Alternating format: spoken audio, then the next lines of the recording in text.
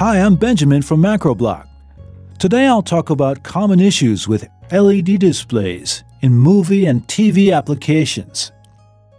As LED display applications expand, we often see them in concerts, studios, and seminars. However, there is a problem.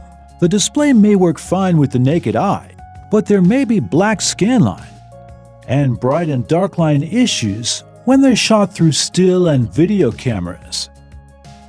To address the issues, we must first understand camera exposure time and how LED driver works. First, let's look at camera exposure time. Assume we shoot a 60 fps image at 1 60th second shutter speed. This is what it looks like along with the time axis. If we shoot a 60 fps image at 1 120th second shutter speed, this is what it looks like along the time axis. Shutter opens for 1 120th second and closes for 1 120th second. Why do we shoot a 60 fps image at two shutter speeds? It's for the effects. The image will be blurrier at 1 60th second. It'll be clearer at 1 120th second. The faster the shutter speed, the clearer the image. It looks like this. Higher shutter speed on one side and slower shutter speed on the other side. Now let's look at the principle of high refresh rate LED displays. An LED display showing a 60 fps image will receive 60 images per second, with 1 60th second for each image. Macroblock's SPWM technology will break the image into 64 subimages. Each subimage is 1 64th as bright as the original. We call it a scramble. As 60 images are received every second, we split every image into 64 subimages. That makes 60 by 64, or 3,840 scrambles. So we say an LED display has a visual refresh rate of 3,840 Hz. This is how it looks along the time axis. Now, let's zoom in on a scramble to see what the LED display is doing. A scramble lasts 1 3840th second. There's a 6x5 LED display at the bottom. There are 6 LEDs per scan and 5 scans in total. As time progresses, the LED display will light up one scan after another. The whole sequence will repeat itself for the next scramble. Human eyes don't perceive the scanning motion due to the persistence of vision. Having understood how LED driver works and camera exposure time, let's take a look at the black scanline issue. It's caused by exposure time that's shorter than one scramble. A scramble is 1 3840th second long. Let's add a camera with exposure time shorter than that. There's real-time display in the lower right. The image captured by the camera is to the left. As the display lights up one scan after another, the camera shutter is closed by the fifth scan. Though the LED display lights up the fifth scan, the camera doesn't capture it. This leads to one issue, namely black scan line. The black scan line issue is caused by exposure time that's shorter than one scramble. Let's continue. Assume the exposure time is more than a scramble, but not a multiple of the scramble. As the LEDs light up scan by scan, what will the camera capture? The camera shutter is closed here, so the camera will stop capturing and putting the image in the memory. You can see the upper two scans are brighter and the lower three are darker. This creates the second problem, bright and dark lines.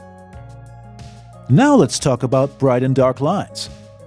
Assume I have two cameras, one with exposure time equal to 1.6 times scramble, and the other 63.6 times scramble.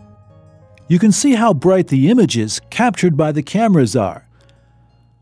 The 1.6 times camera has 20 nits on the top and 10 nits at the bottom the brightness difference is two times. The other camera has 640 nits on the top and 630 nits at the bottom. The brightness difference is only 1 64th. Therefore, the longer the exposure time, the less likely for us to see bright and dark lines. There are several ways to address the issue. First, you can increase the exposure time so you won't see the bright and dark lines. Second, you can make exposure time a multiple of the scramble. Third, you can choose an LED display with a high refresh rate to reduce the brightness gap. We will look at color next. If I shoot a 60 FPS LED display with 1 60th second exposure time, I can capture all 64 scrambles. I'll get an image that has the right brightness and color. However, I'll lose some scrambles with sub 160th second exposure time. The image will look kind of off. On the other hand, I'll capture some scrambles of the next frame if the exposure time is longer than 1 60th second. Extra grayscale problem happens. The best way to deal with the grayscale loss or extra grayscale is to match exposure time to frame rate. Finally, there's another common problem. Customers told us that while they shot videos, darker areas tended to flicker like this video shows.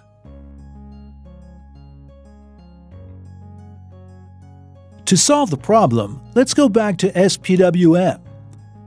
The IC can easily break up the bright part of the image into 64 scrambles. However, darker areas don't have enough grayscales. Sometimes there can only be one scramble. Let's look at the time axis. The LED display has 1, 2, 3, 4, a total of 4 frames. Assume we can split one bright image into 5 scrambles but only into one scramble for darker image. If a camera shoots with exposure time slightly less than the frame rate, sometimes it will capture the darker scramble, and other times it won't. That's why it flickers at low brightness.